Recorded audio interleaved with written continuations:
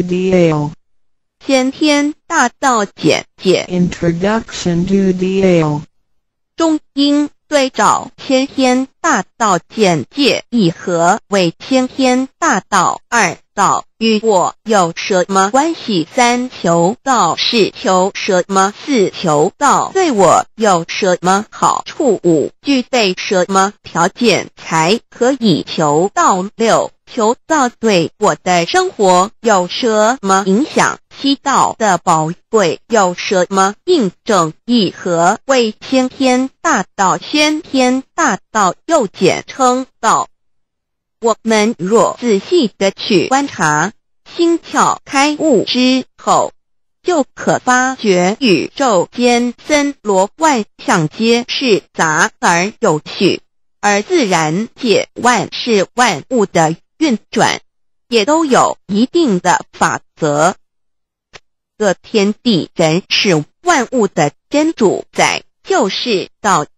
道乃在天地生成之前即已存在，故曰先天大道。道者理也，理就是真理。在天地人万物未生以前，道即已存在，而道能生天、生地、生人、生万物万类。在天地人万物毁灭之后，道不会毁灭。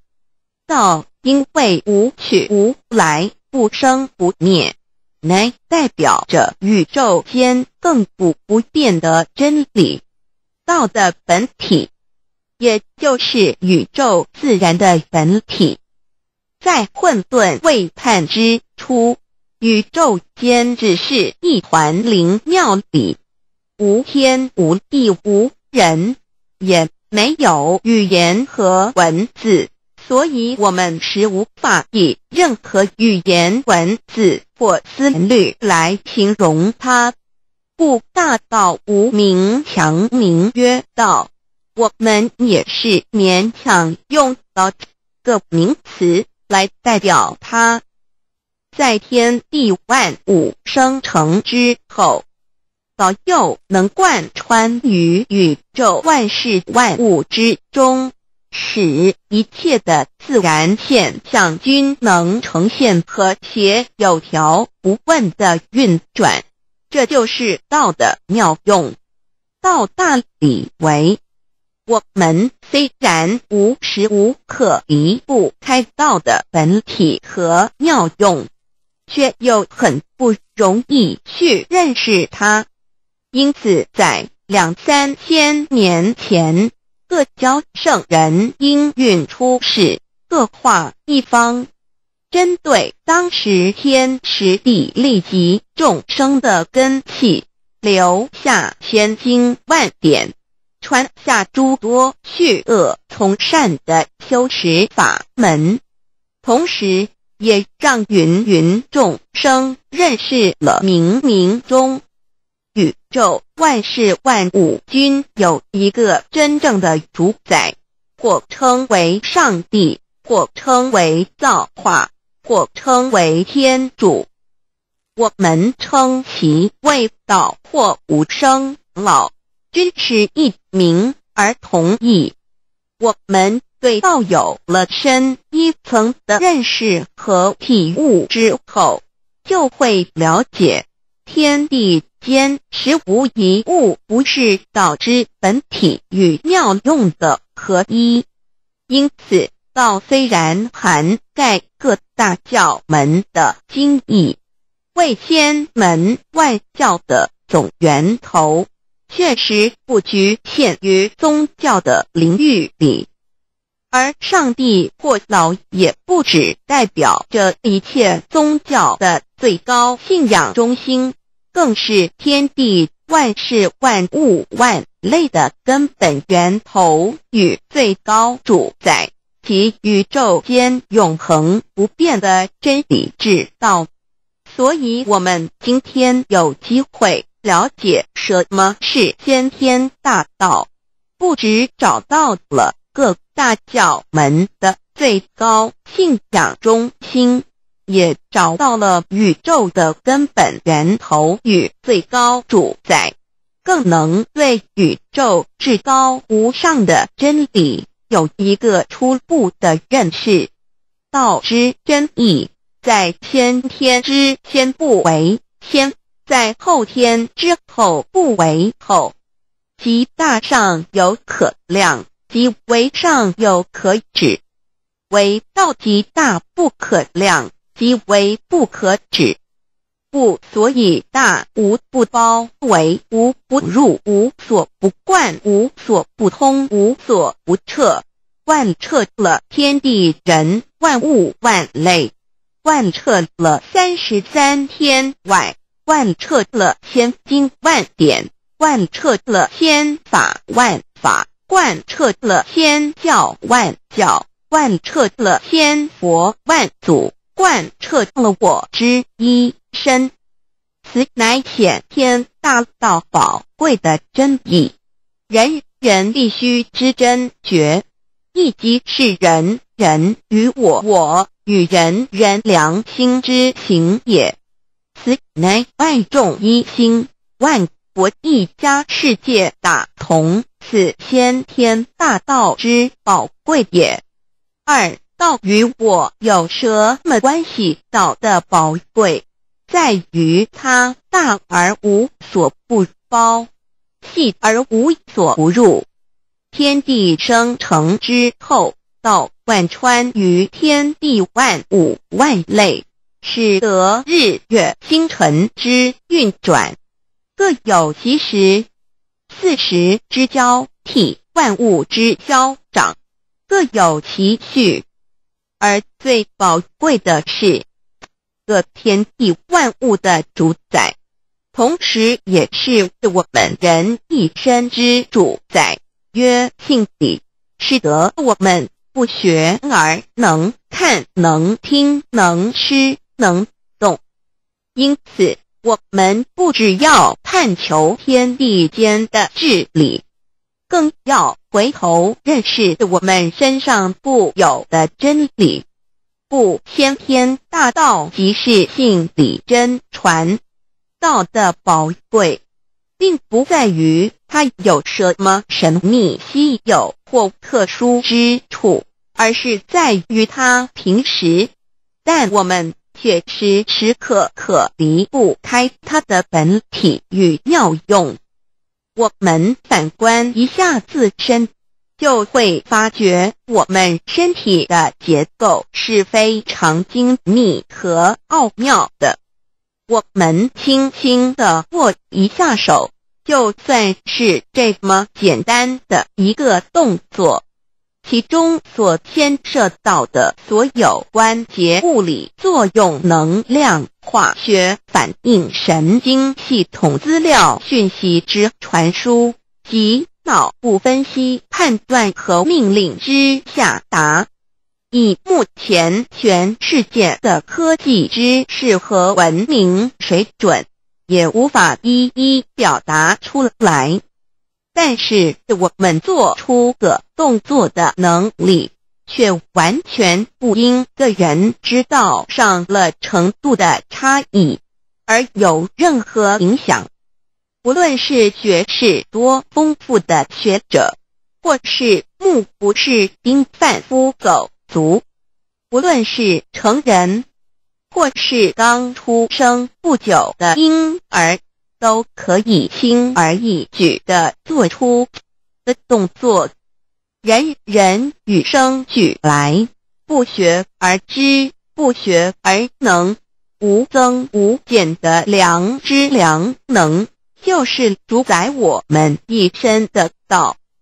我们有学习而得到的知识和才能，有忘记的时候，有疏远的时候。而道的本体和妙用，不用学习，不用思考，大而能主宰宇宙的运作消长，小而能主宰我们一生之视听言动。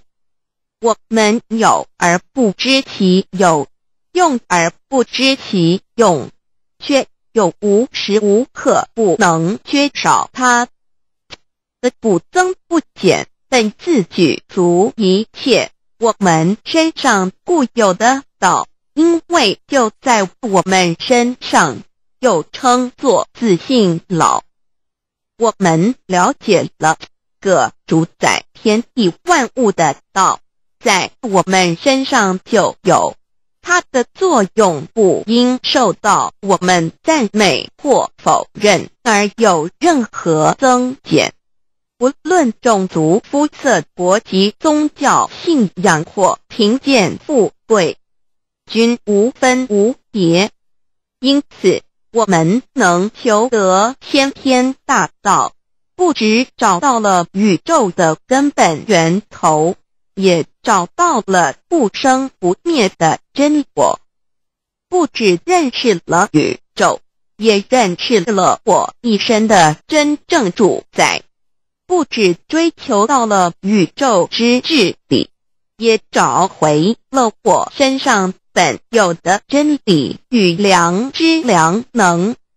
先天大道的根源是在我。身上原来固有的是我由先天带来的良知良能，即是我的良心。我的良心即是天心，天心即是道心。此心无形无相，即是真空。真空之妙，空而不空，空中妙有，妙有者。生天生地生人生万物万类之大本也，妙用者万灵真在也，主宰天地人万物万类之真主宰，亦即是主宰我之一身。故曰道在无身，一切万能；道离无身，此身百无一能。先天大道如此宝贵，乃人人必须追求之道也。三求道是求什么？静心观察我们所存在的这个宇宙，我们往往会赞造物主的神奇。自然界每一刻皆有无数的事物在同时运转。而其整体却又是那么协调，我们身上的这个真理不也是一样每一分一秒，我们身上皆有无数的生化反应、物理作用等同时发生，道的妙用分布在我们身上，不用学习，不用思考，其作用。虽成千上万，合起来却只有一个自我。一切有条不紊，自然而成。道在无声，运用自如，在眼能视，在耳能听，在口能言，在鼻能闻香臭，在身能运用情动做事。此即道在我身之。妙用，所以我们了解了道不止主宰着天地万物，更主宰我们一生。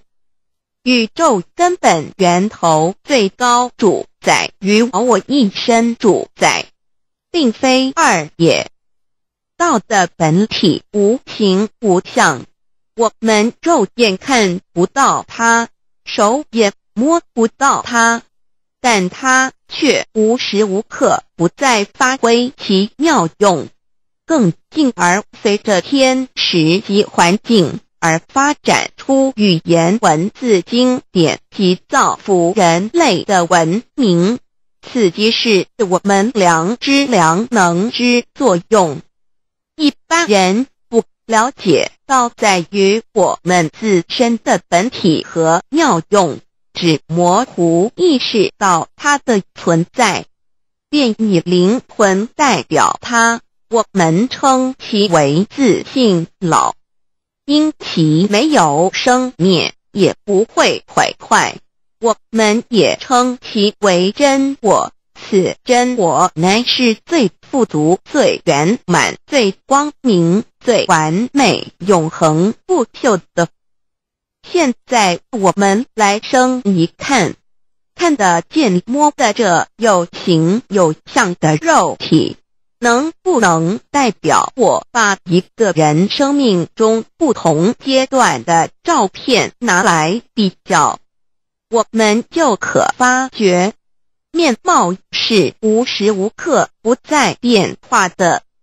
我们一般均习惯以相貌认人，但相貌却不是永恒的。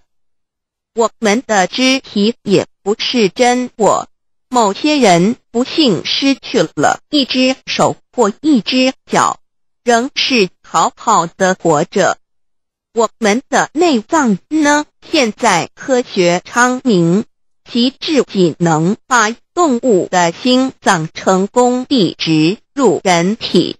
我们不能因此说个人不是他自己了。就算头的脑细胞。从我们一出生就开始不断的在坏死、减少和变化之，因此有形有相的肉体只是真我的一个工具而已。肉体虽然看似真实，却无时无刻不在改变之中，不拘数十年又变成一堆黄土。因它不是永恒的，我们称之为假我。对于真我和假我有所了解之后，我们也就可以了解我们为什么要求到了。如今我们非常幸运，能有机会求得先天大道，求得的就是三宝，三。宝简单明了，但也博大精深。其内容在求道时会详细解说。现在只简单的提出两点：首先，求道就是直接点出了真正永恒不朽的真我，也就是良心本性的发。在物质文明远较精神文明昌盛的今日，假若迷失真我，我们的人生将有如行尸走肉；若是认假为真，更是我们为了盲目满足假我而做出害己害人的事情，造成自己在世时与死后的灾祸。因此，求道启发了我们内在本的真我良心，真我假我协调融合，使我们的人生不论存没，都是平安喜乐、自在充实而有意义。其次，求道也就是开启了我们身上的正门。又称良心之门、智慧之门、慈悲之门，个门非常的重要。当我们要离开一间房子时，自然由大门离去。如果此门无法开启，而被迫从窗户或阳台跳出时，就可能会摔断腿。我们的肉体就像一间房子，真我灵性就像是房子的主人。当有一天肉体要毁坏时，真我灵性若不得正门而出，被迫另寻旁门，其恐惧与焦虑是无法形容的。这也导致了死后的痛苦。与不安，因此我们可以发现到，绝大多数的人临终时，其肉体皆显现山僵硬、恐惧、无助与挣扎之相。求道就是开启我们的生来死去之正门，也就是通天大路。因此。我们今天很幸运能求到，求得三宝，打开灵性通天之正门，可以让我们找回真我，认识我自己身上的道，自然以良心作为待人物之准则，使人生更有意义，更进而解决生死大事。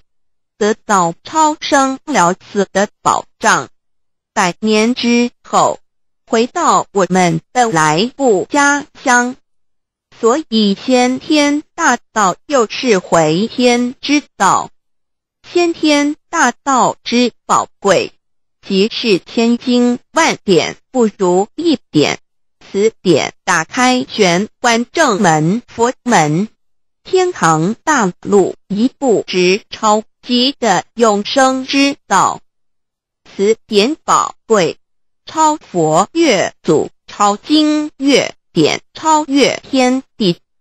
得到这一点宝贵，它是诸经之师，诸法之王，诸佛之天地之，故曰超生了死即的永生，不毁不灭之先天大道也。此乃即是人人原来固有的，必须返回天之道也。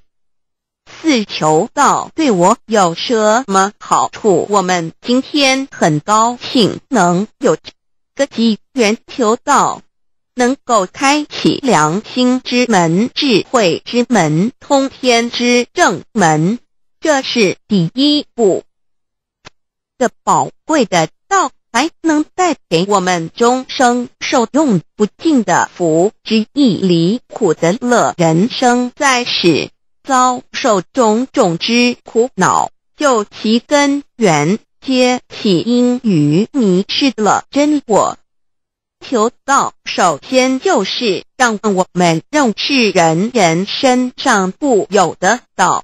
找回我们本有至真至善至美具足圆满永恒不朽的真我，在日常言行之中发挥真我，使我们一举一动皆能合于理，止于至善，自然不会受周遭的人事物所左右，我们的心也就不会患得患失。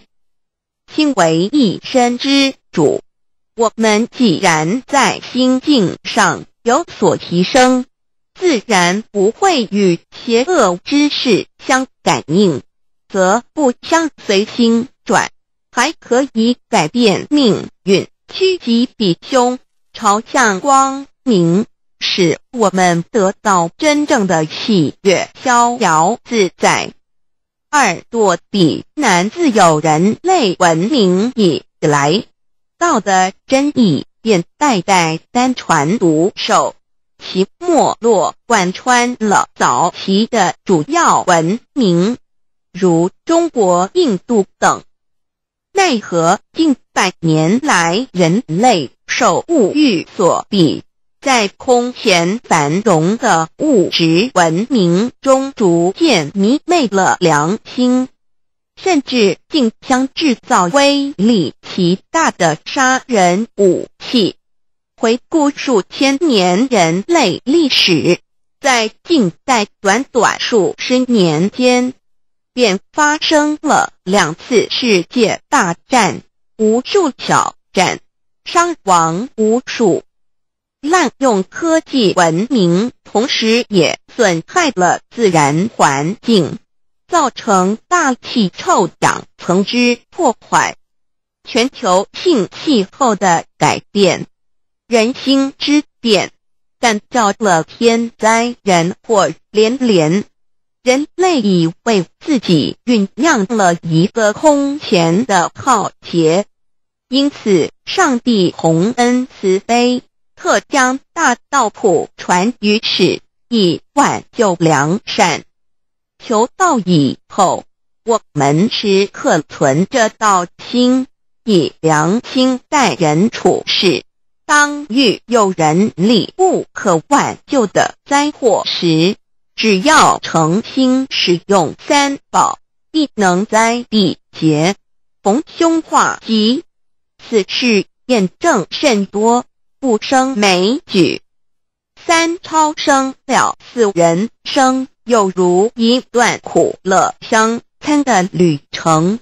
遭受生存竞争、衰老、病痛、死亡等困苦，人皆难免。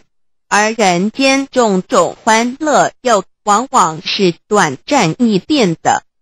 尤其当旅程结束时，终就成空，归宿渺茫，更不禁令人凄独怅惘。是以智慧者有见于此。乃以超生了死，追求真实永恒的人生意义为人生至高之目标。古代先修后的，因此古人为求超生了死，尽毕生之力苦修苦行，仍难以访得名师达成心愿。如今大道普传。先走后修，在求道过程中，天命名师一指，开启了我们通天正门，先赋予超生了死的保障。我们得道以后，认识了真我，以真我为主宰，远离邪心妄念，让我们的心念、言语、行为。无论待人处事，皆合于良知。百年之后，真我灵性自然返回故家乡，永享平安喜乐。四成圣成贤求道，也就是为我们种下一个成圣成贤的正因道种。只要我们以智慧、慈悲心境灌溉它。它必然萌芽、开花、结果。在此功利主义弥漫的黑暗时代，大道乃是光明的灯塔。求道修道，不仅让我们能够独善其身，更是我们有机会可以兼善天下。求道之后。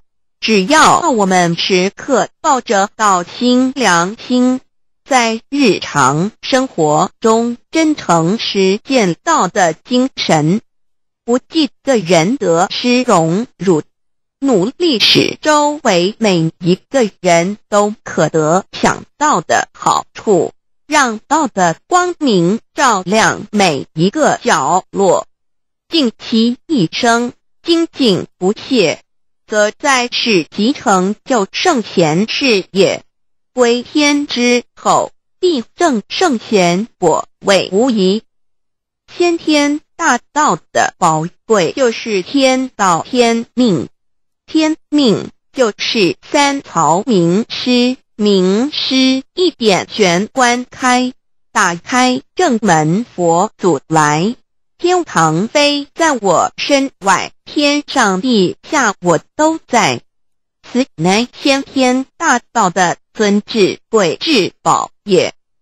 先天大道，天命宝贵，三曹名师这一点妙至极意，非是在言语文字相声音可得，非是在千经万典上的。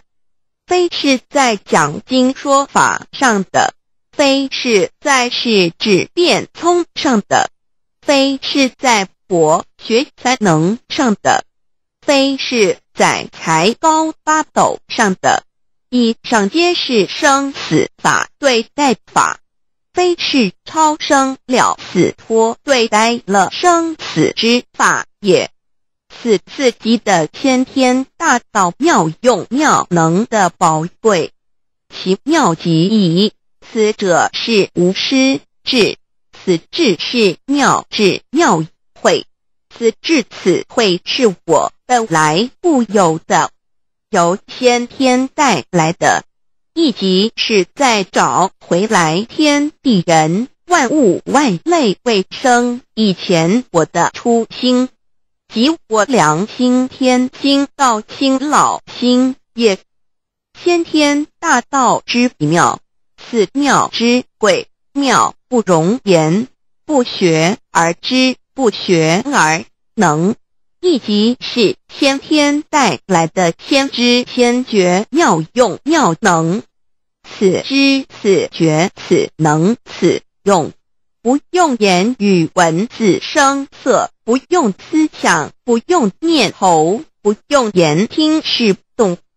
而生天地人万物万类，生天地人万物万类之后，这天地人万物万类，实可分妙，也离不开其妙用妙能，故曰万灵真主宰也。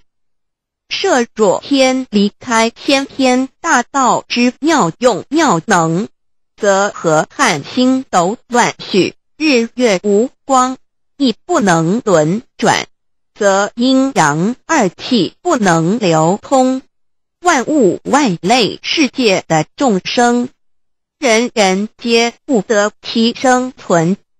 设若大地离开先天大道之妙用妙能，这金木水火土不能相配。则现象丛生，山崩地裂，海水枯干，一使万物万类世界的众生人人不能得其生存。设若人离开先天大道之妙用妙能，则寸步难行，眼不能看，耳不能听，口不能言，总之全身不能动作。一百日之后，成了一堆臭骨臭泥土。此乃先天大道妙用妙能的宝贵妙至极矣。设若觉悟认识先天大道之妙用妙能的支持而实行，即是天人合一、天人一体治理，绝言妙不容言。不是死后成佛，当体即佛矣。故曰如来佛，如是佛也。此乃的先天大道修先天大道之好处。勿具备什么条件才可以求道？求道既然能够带给我们终生受用不尽的好处。我们今日能有机会求道，会不会显得太容易了？事实上，我们能得闻先天大道，首先要感谢上帝的恩慈，将自古不倾泻的大道不传于世，使我们有机会得此天之道。另一方面，我们本身也必须具备足够的条件，祖上有德，根基深厚，佛缘成熟，才能够顺利求道。此外，我们必须向宇宙至高无上的造物主上帝发一个良心愿，此愿可归纳为三个要点：易得道以后。愿以明记并实践道的精神，也就是日常生活所思所言所行，皆愿以良心作为依归。二得道以后，愿以能力所及，助周围需要我们帮助的人，愿意多了解道的意义，并让更多的。人蒙受天道的福祉，三得道以后，绝不将求得的三宝告知任何人。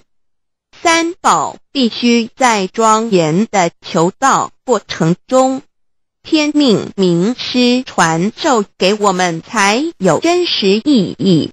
若有我们泄露给其他人，则不但毫无意义、毫无效果，我们自己也违反了天律的良心愿，合乎人人本具天赋的良知良能。所以，我们人人都能够做到真诚实践良心愿。也必须滋润我们求道时种下的智慧、慈悲、清净之正因道种，使它顺利萌芽、开花结果，才不至虚度这千载难逢的求道修道良辰。值得一提的是，我们能顺利求道。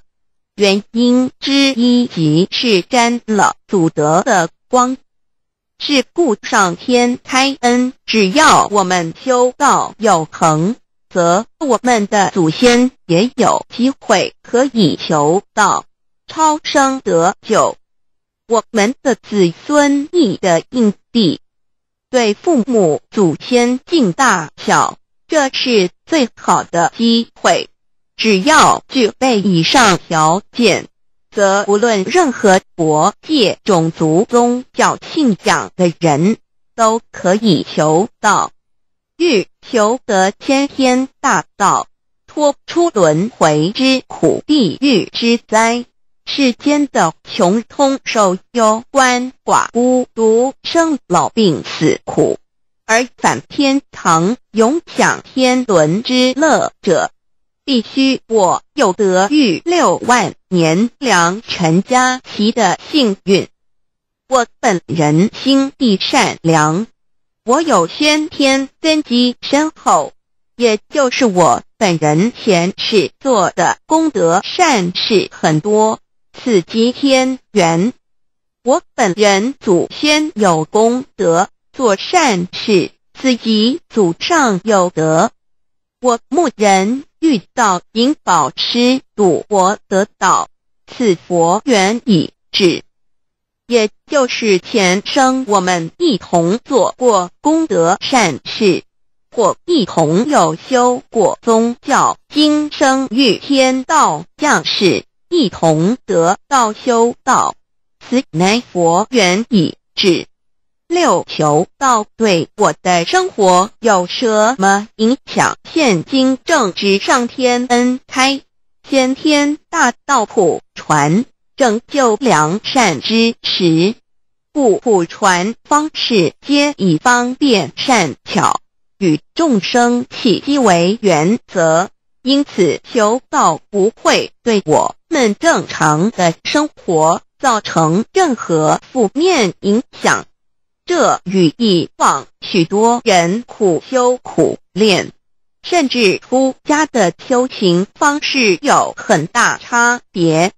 也正因为如此，先天大道能在日新月异的现代，适应社会的各个阶层，传布到世界的各个角落。使人人皆有共沾天恩的闻大道的机会。关于求道对生活有什么影响，我们就以下几点来看：一、与任何宗教没有冲突，道代表着天地万物及我们一生之最高主宰与真理。不止在各大门创始之前，甚至在天地未生以前，道就已经存在了。因此，任何教门，只要其教义是追求真理及实践良心，就不会与道有任何冲突。事实上，不止宗教。只要我们以探求真理的角度去观察，则自然界万事万物皆能与道吻合与印证。若我们原有某种宗教信仰，求道将不会造成任何抵触，也不会使我们背弃原有的信仰。反而让我们对真理的探求有更深一层的体认。二以良心经为最高规戒，每一个人生活环境中的文化习俗、时代背景、法律条文及价值观念都不完全相同，因此没有任何一个具体的规戒或条文能够适用于所有的人。所以，求道后的规戒。着重在我们每个人真我良心之实践，由真我良心主宰自己，而不是在经典之背诵上及律法之钻研上下功夫。三不照良心愿行，有何后果？很重要的一点，求道并非从外在加给我们良心与真理。而是借着开启我们智慧慈悲之门，找回我们身上固有的真理，让天理良心自然流露。因此，求道后，所有真修实行之人，皆是自动自发的。师不求道后，若我们不照良心愿而行，并非。将出现任何外力来强制我们遵行此愿，而是将受到自己良心的谴责，由真我良心督促自己，而自然改过向善。四圣凡间修真我之实践，并不局限于教堂或寺庙之中，因此。现今大道普传，并不要我们家舍业到深山古寺之中修炼，而是在不影响家庭、工作、学业之正常情况下，圣凡间修，在日常生活中时时刻刻一言一行，皆能以天理良心为依归。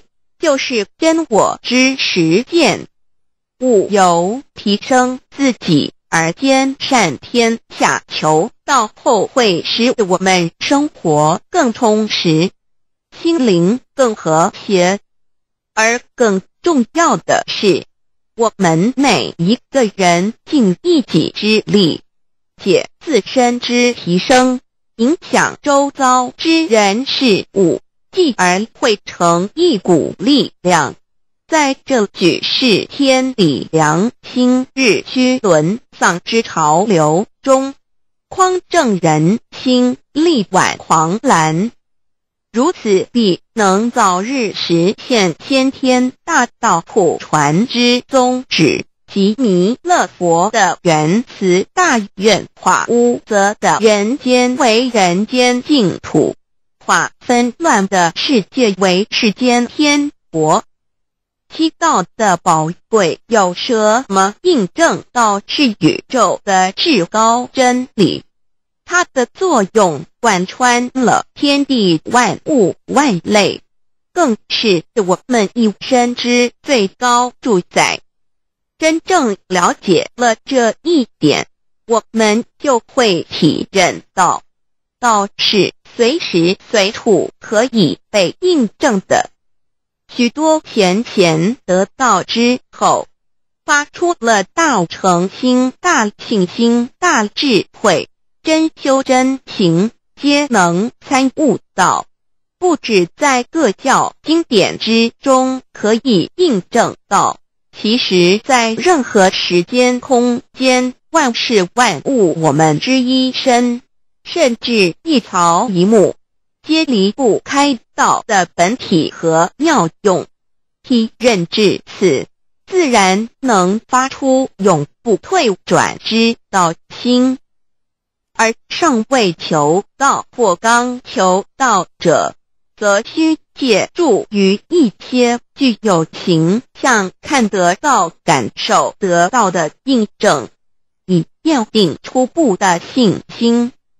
一任何人只要有求道，经过身但天命之名师点开玄关正门，传授三宝者，无论其功德高深为末，死后皆是身软如棉，面色如生，灵性由正门归天，东不品湿，下不腐臭。甚有多至数日不变，一相满世者。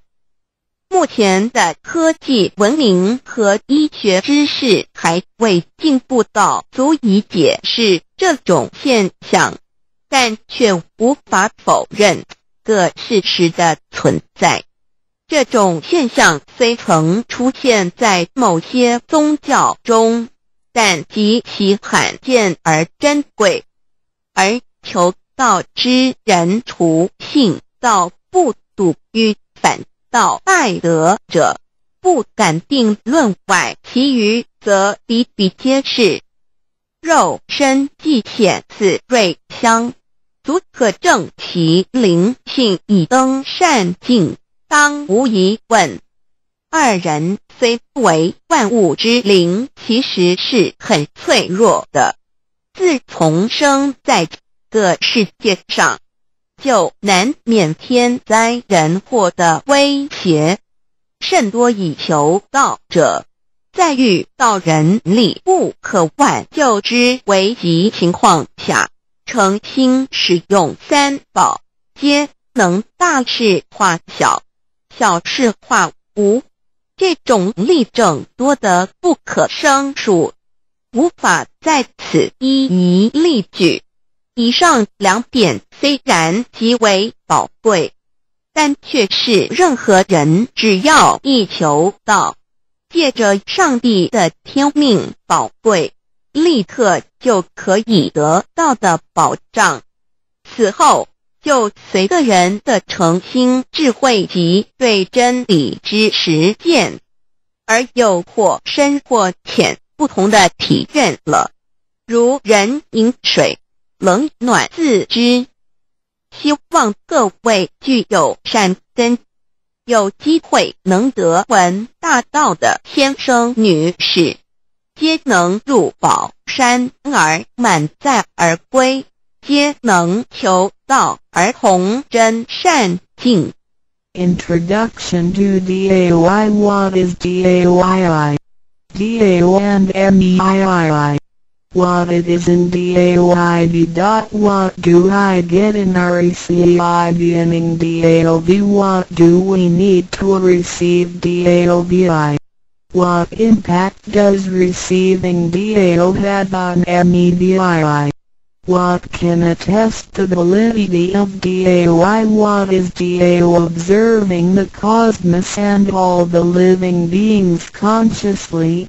Among all the earthly activities and phenomena, we will find the existence of the laws of nature. There is a supernatural origin which guides all the operations happening across the galaxy, the earth, and the human beings. We call this source Tao. Tao existed before primordial time, and even before the universe was merged. It is the origin of the world and it thereafter nurtures all the creatures and beings. Since it is unchangeable and does not evolve with time, it is the ultimate truth. It is what all saints and sages throughout human history had been searching for. The essence of Tao is the foundation of nature. The law or the power that existed before the universe was formed is beyond description because there were no civilizations nor creatures, let alone languages. Since it cannot be applied any name, we simply call it Tao. After the world was merged, along with the mutations of the universe, we see the harmonious actions as exhibited in seasonal changes, rhythms of time and tide, and the balance of the ecosystem. We also find some conformity of human nature across various cultures. These prove the laws of nature. This is the extension of that original Tao when it is substantiated and materialized. It merged into everything that is with and within us. Now that we know Tao is present universally and yet difficult to be recognized, there had been prophets and preachers trying to make us know and understand the origin and the truth of life through various teachings and literature since the beginning of civilization. They were scattered around the world throughout history. As a result, great commandments were taught to disciples and goodness and badness were differentiated. These teachings varied, based on differences in culture, background, timing and the level of each individual's comprehension. However, they all tried to express and transmit to their descendants this creator and chief of the universe. It is God, or what we call Tao. As we get to know it more and more, we will realize that the essence of Tao and its effect covers every existence without any exceptions. Tao is actually the headwaters of all religions. It embraces the essence of all the preaching and teachings. And yet, it is superior to the system of belief. It is the nature, the universe itself. Tao or God represents the highest authority and power of nature. It is also the headstream and superior to all. It is the unchangeable principle. Understanding Tao allow us not only to discover the center of all religious belief, but also to communicate with the origin and the highest power of nature. We will then be able to relate ourselves to the truth of the universe. To probe further, Tao existed before the formation of all, yet it was not anterior, which means that the creation was embedded in it. Tao emerges into the creation, yet is not posterior, which means that it is not thereafter limited. Among those created, however large, they can be measured, however small, they can be detected. It is only Tao that cannot be measured of its immensity nor detected of its existence. Therefore, it is larger than the largest and leaves nothing excluded, and yet it can be smaller than the smallest and leaves nothing not penetrated. It is ubiquitous. It merges into and governs all. It is in charge of the space, the earth, human beings, all the creatures, and all existences. It penetrates and regulates the entire universe. It is the source of all the scriptures, sutras, as well as dharmas. It encompasses all the religions, and it is what makes one a Buddha or a saint. It is the single chief of all. And, above all, it is in charge of each individual too. It is the divine self.